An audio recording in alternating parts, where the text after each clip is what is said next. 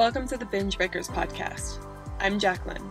I am here to teach you how I overcame bulimia and my binge eating disorder, and how you can too. Through simple steps of mind management, repairing your relationship with yourself, understanding your habits, and intuitive eating.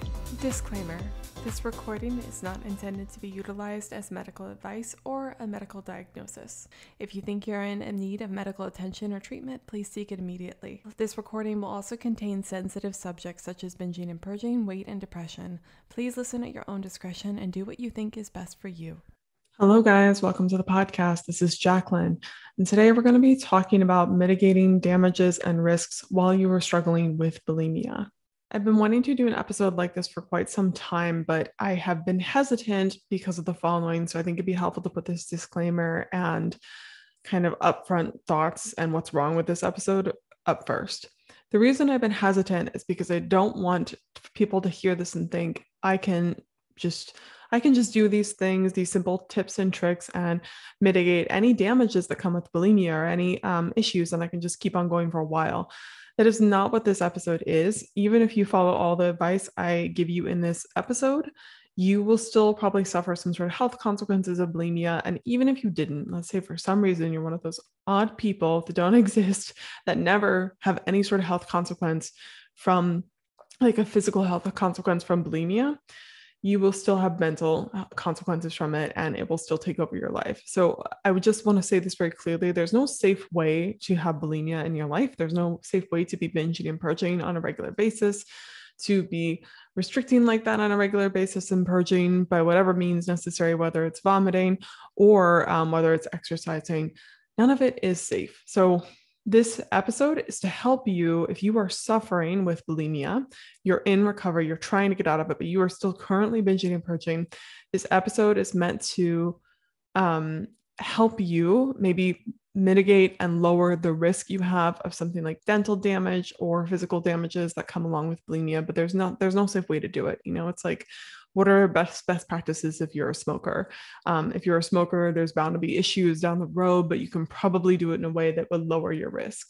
Before i go forward i, I talked to a lot of people who they've had bulimia for a while you know maybe 15 30 years sometimes. Um, i've definitely talked to people who've had it for longer but the people i've worked with um, the person that i worked with that had the longest amount of bulimia was 30 years. And they always tell me something similar. Like in my 20s, uh, it wasn't that bad. I was able to binge and purge as often as I wanted, sometimes a lot, and um, I really got away with it. My body seemed to recover pretty quickly. But then once my 30s hit, it started to get harder and harder and harder to upkeep the bulimic habits that I had. And I hear that quite a bit. Uh, so for those of you guys that are younger listening, I know most of my audience is not just, you know, teens and 20 year olds. A lot of them are in their 30s and up. Um, so if you're older out there, you're not the only one. Please trust me on that one. Uh, but if you're younger and you think, I haven't, I don't experience that many symptoms, totally fine. It's not a big deal. You are wrong. Even if you don't know what's going on, if you don't see any symptoms, you will eventually get kickback from this terrible um, eating disorder. It is not something to be messed with, and you don't want it to get to the point where it's too bad.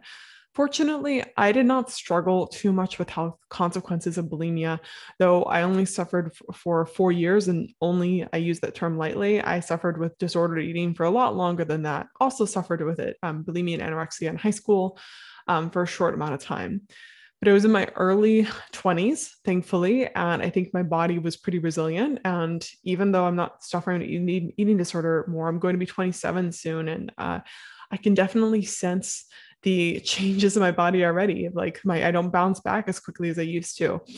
Things catch up to you, especially as you age, and you don't want to wait till you're much older to try to deal with this. It's just not worth it, and your body um, won't always be as resilient as it is. And even me saying I didn't suffer from any health consequences, I do think the enamel on my teeth probably uh, uh, they're not it's not as good as what it used to be. Probably I definitely did some correct things, which I'm going to talk about that lowered my risk of losing a bunch of um, losing my teeth. You know, uh, I didn't suffer with that, but I definitely probably suffered with dental damage. I think my tongue also um, suffered some some losses there, and I definitely struggled, although it was never formally diagnosed, with some ulcers uh, in my stomach for sure. I feel like that's had to be what it is. And then I struggled struggled with extreme IBS and probably lots of um, electrolyte imbalances and uh, mood swings and mental health things and depression, all that sort of stuff. So even though I came out basically scotch free, right, scot free. Uh, I still suffered a lot. So even you don't have to have extreme health consequences to um, want to get out of bulimia. Anyway, I hope I made that abundantly clear um, that even though these tips will help you, that isn't, it's not meant to say, please don't listen to this episode and think, oh, I can totally just binge and purge all day and no problems. Like that's not, that's not going to be the case. Sorry. It's just not. And even though um, if there were no health consequences, I still don't think bulimia is worth it because it becomes this addictive thing that only that's the only thing you think about, the only thing that you care about. It's very numbing and it takes away your world mentally, even if you're physically totally fine. So keep that in mind too. Um, another thing I want to add about this episode, I always put a disclaimer in my intro, but since I'm going to be talking about some health related subjects and some things to do with your teeth and um, physical things, especially when we're talking about mitigating health damages, I want to make it clear I'm not a doctor. Um, so if you're experiencing some of these health things I'm, I'm describing, please check with your doctor on what they would recommend. These are just tools and tips that I know can help, but your body is uniquely yours and you should talk to a medical professional if you experience any of these symptoms or you think that you may or you're not sure what to do. Always converse with them first. But before we start the episode, I just want to make a quick little interjection. I have some exciting news. I have a bulimia recovery course that I offer to all my clients and just people that are look, looking for a budget friendly option to recover. And I know not everyone can afford coaching, but I, I wanted, when I first started coaching, I wanted a resource I could give to clients and people who maybe couldn't afford coaching to recover, to have the information and tools they needed when they weren't talking to me directly or they were doing their own thing. So I created the course. And since then, it's been evolving and changing and growing uh, with my clients and what I learn. And now after two years i'm doing some changes to that course but the first change that i'm rolling out with is that i'm i'm adding something called monthly workshops and that will be um, a monthly theme going on in the course that will help add on to uh, your recovery process. So, for example, this month, what we're doing in March is we're focusing on future selves and who that would be and how we can become them. Because a lot of people struggling in recovery, they don't understand how they could even become someone who forgets that they have brownies in the fridge or forgets that they have chips in the cupboard or eats a piece of pizza and just a piece of pizza without losing their mind. They don't understand how they could be someone who isn't bulimic. What do they do with all that time? What are they what what's going on? They just sit there and they don't do anything else there's so many questions and getting to know your future self can be really helpful for you then fitting into that role makes recovery easier makes um, the f- unfamiliarness of growing leaving bulimia a lot less scary so that's a work we'll be doing this month and then every single month it will change. It'll add on something new. There's already already a wealth of information in the resource vault of the course, but then we're also doing these live workshops every single month. That's going to help um, help people in the course continue their uh, journey wherever they're on, whether they're already recovered and they're in the course or they are just starting out. And I'm also changing up the pricing style because I obviously do one to one coaching, but because that's a lot of my time and I want to dedicate time to each client being as much brain power and giving them the proper attention they deserve, that's a lot higher in cost. And I know that not everyone is in the position to afford that. I could barely afford the coaching that I paid for when I first started bulimia recovery. I did it because I knew it would change my life and I knew the investment was worth it. And I knew that if it didn't work out, I guess I just was still broke. But I I did commit to that. But I know that, you know, not everyone can do that. And even me, I probably shouldn't have been doing that, but it worked out in the end for me. So I'm changing the cost of the course to just $49 a month. And I'm hoping that that is affordable to most of you and you can cancel at any time. Plus, if you join the course and you absolutely freaking hate it, you think I'm the worst person ever, and you're like, this is disgusting, even though I don't think that you will, you can ask for a refund within the first seven days. So it's really risk free for anyone who wants to join. And I'm hoping that this will make it so much more accessible and give people no reason just to try it because I think that's one of the biggest barriers in recovery is like, I don't know if I actually like there's a lot of risk. That's that's the objection I get a lot with coaching is what if it doesn't work? Something like this, there's literally zero risk. You can try it, it will be okay. And if you hate it, you can just get out. But I always say, you know, it's worth the try because it could really change your life. That coaching program I joined changed my life forever. And I'm so glad that I took that risk, even though I really didn't know. So, anyway, I'm changing lots of course. And then over the year, I'll also probably be updating some things in the course. But there's so many good stories that come out of there. And you'll see if you go to the link I have in my description below, you'll definitely see a lot of the case study or the of the stories that are coming out of that, but it's changing people's lives. So hope you'll consider it. Look out for that on Monday on my Instagram. There'll be an updated link and you'll be able to join and be one of the first kind of new members under this and be hit the course on the ground running with this new content that's coming out. So hope you guys like it. Okay, on to the episode. Okay, now let's move on to helpful things that you may not be doing, or you may be doing something that's actually causing more damage than necessary with bulimia. So I'm going to start with the most obvious one because um, most people ask me about it. I've been again avoiding the topic for a while because I'm like, oh, I'm not an expert on that. I don't know. But I want to offer you the best thing I can do. And I also hear clients a lot. I talk to people every day, right? Um, they'll tell me things that I know that they're doing that are actually worsening their teeth damage. And I always tell my clients, like, hey, don't don't do that. Try doing this instead. And they're like, oh, I never knew that. So I'm gonna try to give that advice to you here.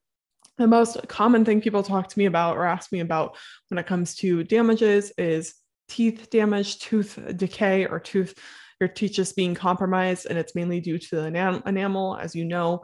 Um, when you are purging via vomiting, uh, that's a lot of acidity. Your stomach acidity acid, acid level, I think, is um, the same level of battery acid. Like it's crazy um, the acidity in your stomach, right? To break down all that food, having it come back up um, after long, prolonged periods of time, especially if you're vomiting every single day, even just once a week, is too much to be doing that, right? It's over time, it's going to completely wear away that enam- enamel.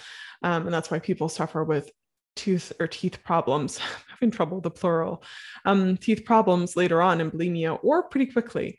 Some things that people don't realize that they're doing is wrong um, is a lot of people will brush their teeth directly after binging and purging. Um, or sometimes they'll brush their teeth directly after eating to try to uh, stop themselves from eating more food because that minty flavor is kind of a deterrent. And the reason people brush their teeth directly after purging is because they think there's tons of acid in my mouth. I need to get that out of my mouth so that it doesn't break down my teeth. It's with good intentions, but it's actually backwards.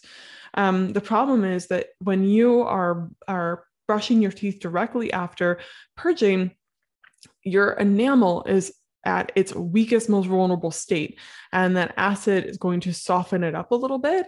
And then if you're brushing your teeth directly after that, you're actually wearing down the enamel much more than you would have had you just rinsed your mouth with water or um, yeah just with water or uh, alcohol free mouthwash uh, and same same thing with eating food people don't know this but after you eat food you're not a binge not purging just after you eat any food after you drink take a drink of water or a, take a drink of coffee or maybe some pop. I'm from the Midwest, I say pop, but soda, some sort of beverage that isn't water. Your mouth, your pH level in your mouth is actually going to be um, pretty acidic. And so, again, your enamel is at a softened uh, state, it's at a more compromised state, and brushing your teeth directly after is the worst thing you can do because then you're just wearing away that enamel.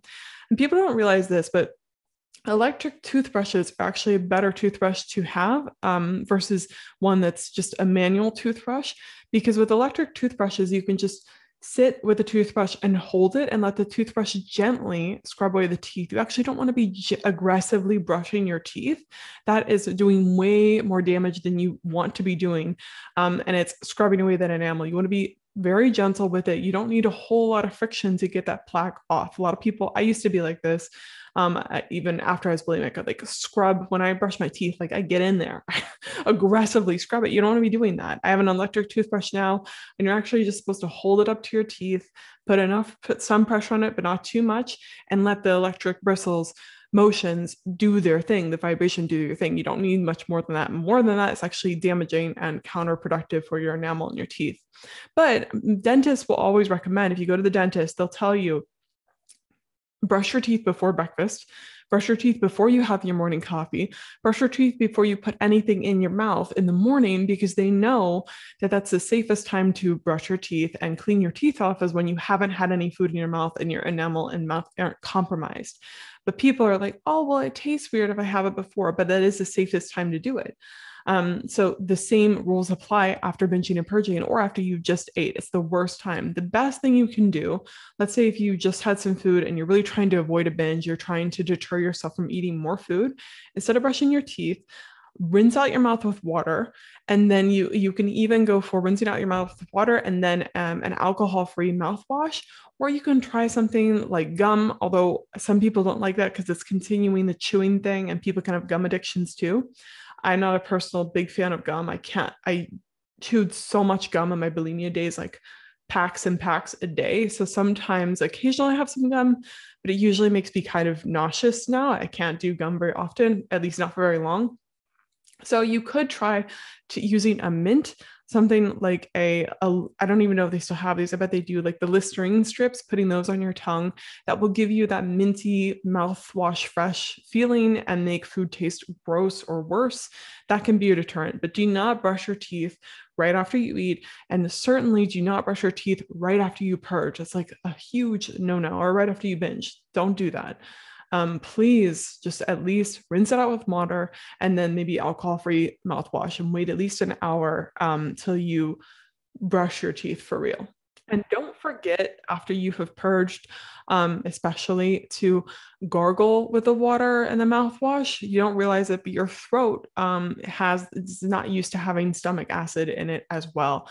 And also, um, depending on what you're purging, uh, this is getting kind of graphic. So if this is too triggering for you, please click off the episode. But sometimes when you are purging, I know I personally would choose foods that were the easiest to come back up. Uh, I would not dabble with crunchy things as much or things like that. But if you are dabbling in that, and I have too, that can kind of be pretty rough coming back up, especially when you're binging, you're not chewing the food sometimes properly, you're trying to get in really fast. At least that was the case for me. And so vomiting those things back up was really awful experience. My throat would be super raw. That's because the food's traveling back up combined with the stomach acid.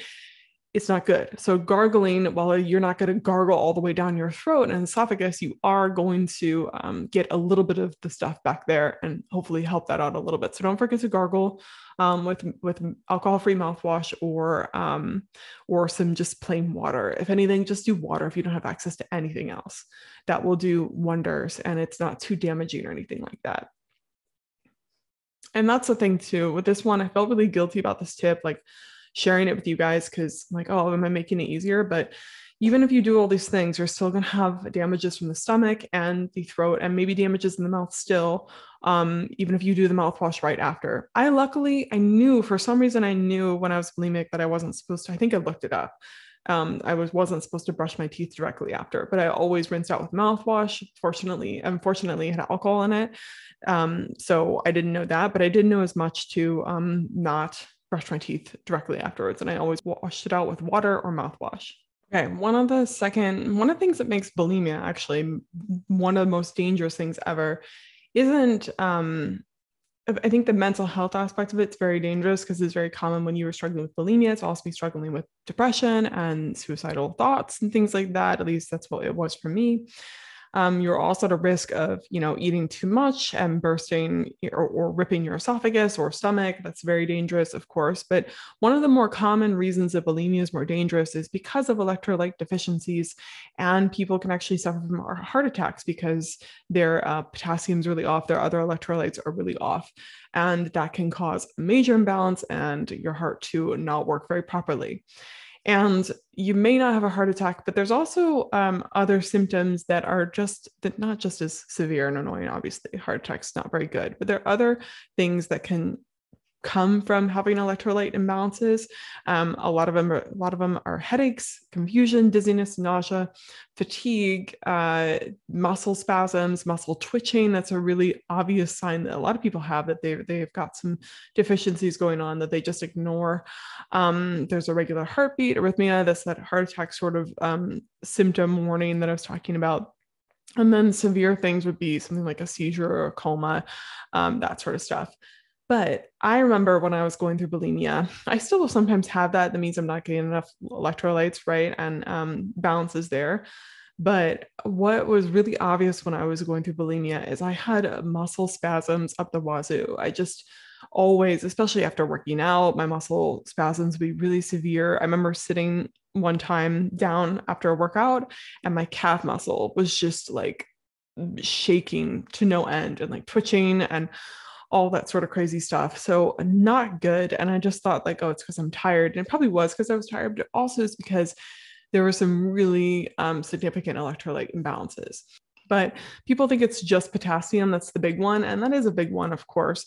Electrolytes, um, it's really important for maintaining and regulating certain very primary functions in your body and like balancing water levels, um, move nutrients into cells, remove waste products, allow nerves to send signals, enable muscles to relax and contract effectively, which is why my muscles would sometimes be really out of whack when I was going through bulimia and maintain brain and heart function, right? To actually have a functional brain, um, maintaining healthy circulation, all that sort of stuff, and your body pumping, um, your heart pumping blood effectively, um, and having those electric signals go correctly. But people think it's just potassium, and there's actually many electrolytes, many minerals that are super important and vital to your body.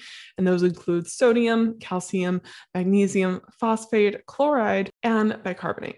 So all of those are really important. Now, what can you do? Like, how can you mitigate that risk? How can you try to keep things good? Well, the first most obvious thing is like stop vomiting, stop excessively working out, stop taking laxatives. But if you're recovering, hopefully you're reducing the frequency in that because that's the most important thing for that.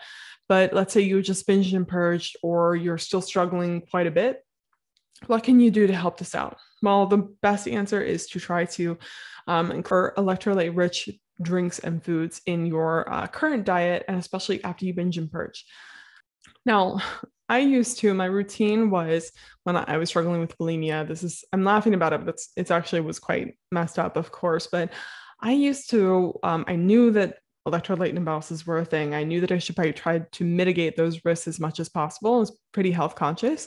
So smartly enough, I did grab an electrolyte electrolyte heavy drink after binging and purging. And actually, most of the time, I would just grab it in the store along with the stuff that I was buying for my binge. These I would grab um, a Powerade Zero Blue flavor, which this is not a sponsorship, it's not a promotion. It's just what I would drink. I do not know if that actually was that important or significant and helping me because I don't know like what electrolytes are in there and what um whether there was that like significant and whether it was beneficial. I just knew that I liked the drink. I always used to drink it in volleyball in high school and I knew that it promoted having electrolytes and was supposed to help athletes with their electrolyte imbalances when they're sweating all the time. So that's what I would grab. Um again, don't know if it actually is that useful, but the idea was correct. It was like okay, let's get this because after after I binge and purge, I'm gonna need this. So after I would binge and purge and I would rinse my mouth out with mouthwash or water, I would then start drinking the Powerade.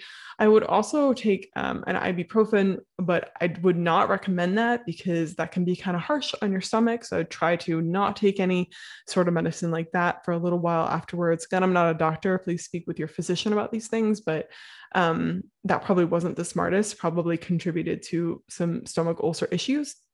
But what I did do that was correct was having the Powerade or some sort of electrolyte heavy drink. Um, and so, what I'd recommend, obviously, Powerade isn't your only option. And I don't even know that's a United States thing. I don't know if they sell them abroad, but you can just try to choose foods or drinks that are, there are probably many drinks that are on the market right now, little pre-packaged bottles that are advertised being electrolyte uh, diverse get one of those or you could try just eating something like soups can be helpful because they have usually a lot of different nutrients in it and they can feel warm and comforting especially for your throat after that. So maybe having like a hot, a hot soup um, that's prepackaged or just available. Things that are um, pretty usually electrolyte heavy it's it's a diverse thing since there's so many different electrolytes but i'm going to run through a short list here that i have on the side. There's you know you could try something like spinach kale avocados bananas broccoli, potatoes, beans, peanuts, tofu, strawberries, watermelon, oranges, tomatoes, um, some sort of protein like olives, canned foods. So the list is wrong. I just would try to pick something that maybe has some salt in it, some potassium in it, some calcium, soups are probably going to be your best bet because they tend to have a lot of different nutrients, different chopped up little foods. Like they've got everything from carrots, like a chicken noodle soup might be helpful. Or if you're vegan, try a vegan version or something like that. But I think a soup is your best bet, or at the bare minimum, having some sort of electrolyte drink that's prepackaged at the grocery store that you can just pick up. Um, try that. That's what I would do. But that can be really helpful for trying to keep your electrolytes at least like not dangerously out of whack. Again, the best way to reduce that risk is just to stop binging and purging or reduce that as much as possible. But if you're struggling with that right now, try to do that at the bare minimum. Okay, this is not necessarily something that is reducing damages, but it's a mistake that I see so many people make in bulimia recovery. And I just think it's the best thing to do, best practices to do after you binge and purge. Do not starve yourself. Do not try to make up for it. And if anything, try to eat as soon as you feel even slightly hungry. Um i used to think like okay i'm gonna i'm gonna try not to eat after this. I'm gonna try to make up for it.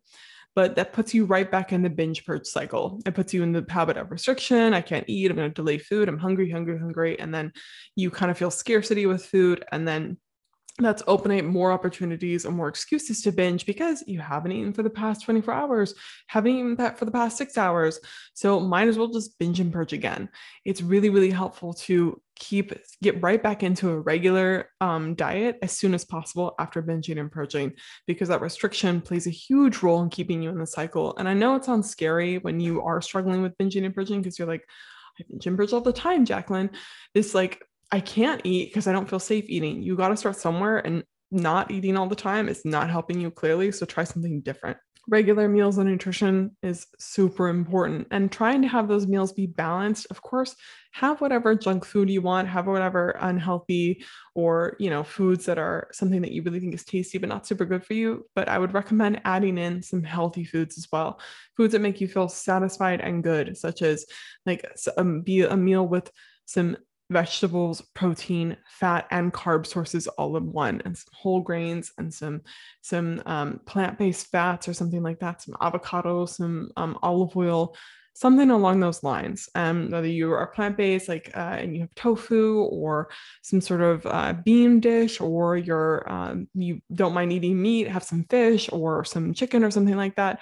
Try and include those things in your diet. And then something to help reduce damages mentally or um, something to help kind of keep you a little bit sane during this process is to look out for support. And I'm not just saying go and work with someone that's very important too, but try to find someone to talk to. It's just talking with a client who she was about to binge and purge, but then she made the smart move and she actually went and talked to her dad and said, I'm feeling really stressed. I'm feeling like I want to eat.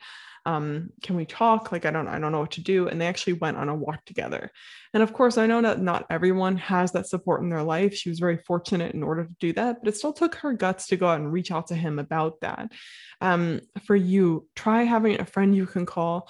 Try having some sort of support somewhere maybe a facebook group you can post in something that's going to be super important for getting you out of that spiral. I know one of the biggest contributors to kind of keeping me in that cycle bulimia and then therefore keeping the damages going was isolation. The times where my eating disorder thrived was when I was isolated alone and didn't feel like I had anything else.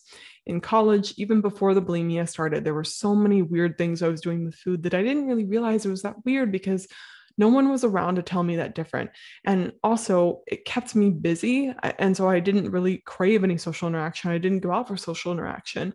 My um, kind of pastime when I wasn't in school was my eating disorder. And I knew enough to know that I shouldn't, some of those things like I shouldn't mention to people that's what I do with my time.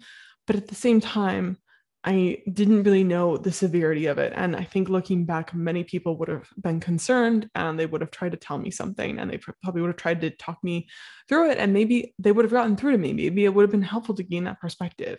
Um, so if you are struggling with the eating disorder, on top of all these physical things you can do to mitigate those damages, really, really try to find someone, at least one person that you can lean on for a little bit during your support, um, even if it's an online support group or it's an in person friend. It depends on what your level of comfort is and who you're around um, and uh, what, what type of people you have available. But social interaction, support from others, very very important. And then also constantly listening to uplifting things not just um, for your mental health. Something that really causes you to stay in the spiral of bulimia is what you consume online and what you're constantly listening to seeing social media. It's a great thing. It's a great place for you to for amazing messages to be found. The eating disorder community on instagram it's just amazing there's also a lot of things that are very toxic on public platforms. And so be careful about what you're consuming. If you're always looking at Instagram models, right, and influencers, and they're always spewing like the next diet and um, showing off their body, I'm not saying that's wrong. I'm just saying that maybe it's not the healthiest thing for you to be looking at right now. Maybe you need to take a better balance of that and try to put more things in place in your social media and the podcasts you listen to and the shows that you watch that are more uplifting you can't control what's out there, but you can control what you listen to and what you see. And so I'd recommend that for reducing mental damages there, reducing the risk of you staying in bulimia and giving you more hope and inspiration so you can get out of it. So you can get more mentally there and fit and helpful.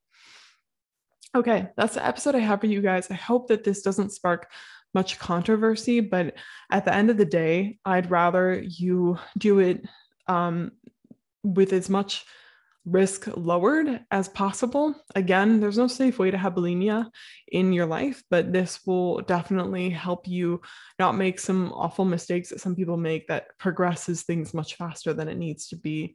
Um, there's there's no safe way to do it, but I am glad I knew these things during it. I also suffered for a shorter amount of time than some people, so that probably helped me not have as many risks. But yeah, um, the other symptoms along with bulimia just take time to heal. Like uh, those things I don't necessarily have any other good advice for you other than to stop binging and purging and try to get onto intuitive eating and try to have a regular diet and and eating routine. But when it comes to face swelling, um, when it comes to bloating and IBS, I always talk about this in my course and with my clients. But it took my digestion about a full year to completely recover. Now it wasn't like I was awful and then one day it just poof gone it just was a slow process of getting a little bit better, a little bit better, like a little less gassy, a little less um, inflamed, um, and a little less irritated. And eventually, it, I'd say it's pretty normal most of the time. Something that's also been helping me out recently um, is just having a, a, meal prep or a meal service delivered. And I'm not even talking about a meal prep service where they give you the ingredients and you cook it. I'm just getting um, delivered meals to my house. Like we, I get about seven or 10 delivered to me. So I still make some of my food, but some of them are just prepackaged. And that's been helping me out so much just to not worry about it. So one other thing I might say to help you with bulimia is if you really struggle to eat food and um, have food in the house or um, understand what to do with food, maybe considering a meal prep service. I know not everyone has the financial means to do that, but it really takes all the guesswork and thinking out of it and saves you a lot of time so you don't have to constantly be thinking about that and wondering. So that's another thing that's helped me. But regular meals is um, and stopping binging and purging will help reduce a lot of those other things like the face swelling, the bloating, the IBS, the slow digestion, that sort of stuff. That, that stuff just takes time, and the best thing you can do for it is recover, and you'll be a lot better off, and your metabolism will be healing after that too, which is another thing we didn't even talk about. But regular food, exercise, and movement, I know binging and purging is going to help tremendously with all those things. So hopefully that's even more motivation for you to recover. Okay. I'm gonna let you guys go. I hope you guys have something planned this weekend that you enjoy, even if it's just like a 10 minute breather away from all the chaos. Okay, never give up on yourselves, my friend. Thank you for listening. Bye.